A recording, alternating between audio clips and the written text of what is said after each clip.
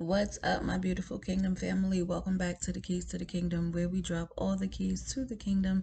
Dr. G is in the building. If you are new to the Royal family, come on and hit that subscribe button because we're kings and queens actively living out our purposes full of positive vibes, changing lives, and loving on the Lord. Right? This is the place to be. You do not want to miss the messages that come through on my channel. Shout out to my faithful family yeah. Always in the building, holding it down in the comments. I love y'all so very much, and I'm blessed to share this journey with you all. Listen, baby. Okay, like, comment, and subscribe. Like, comment, and subscribe.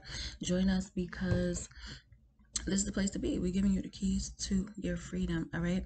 And so I'm going to let you all hear a brief voice recording that I created, and it's based on a question that I get all the time, like how do you keep up with everything that the Lord has you doing that the Lord has your hands on, okay? And so um here we go.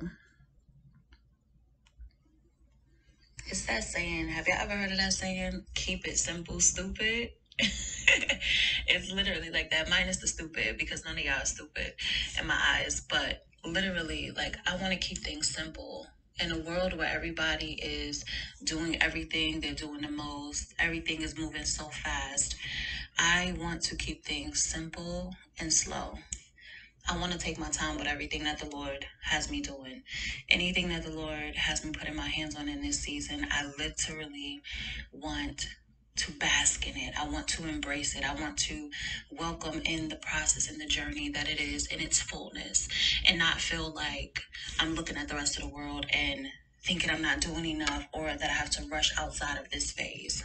No, I want to be comfortable and confident, which I am, that I'm where I'm supposed to be in this very moment, doing exactly what the Lord has called me to do to the extent that He has called me to do it, and I'm among the people that He desires me to do it with.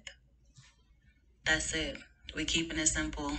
Stupid. love y'all, Kingdom family. Dr. G is out.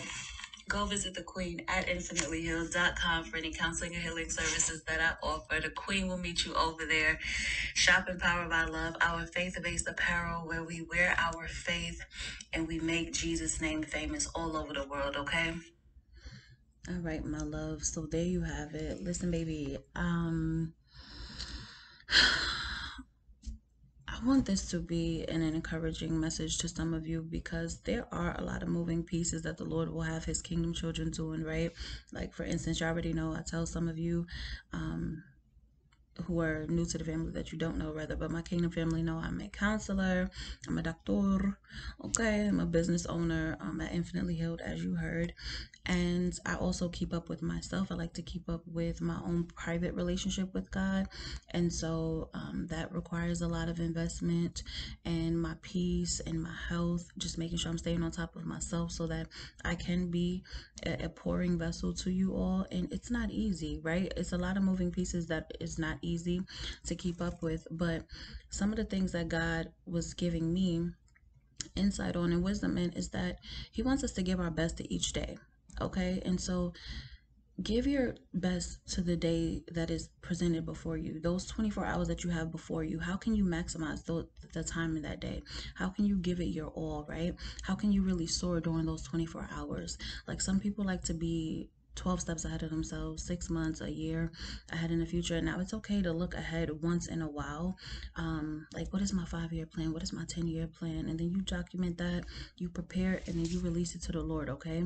And then you come back to that present moment where He can get you situated so that you can literally flourish and bear the fruit that you're supposed to bear in that present day, in that present season, right? Because you're focused on what's in front of you and you're not looking at what's too far ahead of you okay? So once in a while look ahead but then for the most time for the most part you're back right to what's before you. Be where your feet are.